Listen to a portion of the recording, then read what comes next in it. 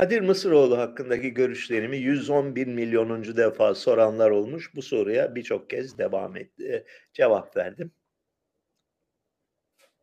Zeki ve eksantrik bir adam olduğunu düşünüyorum. Ee, sahip olduğu ideolojik önyargılar hakkında fazla bir şey yok.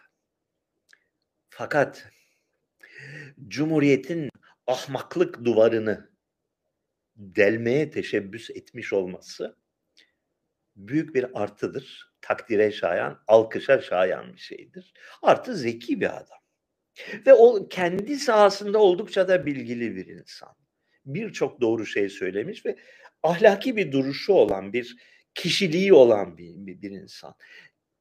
Kemalciler bunu anlayamazlar. Çünkü Kemalcilerde ahlak anlayışı yoktur. Sıfırdır.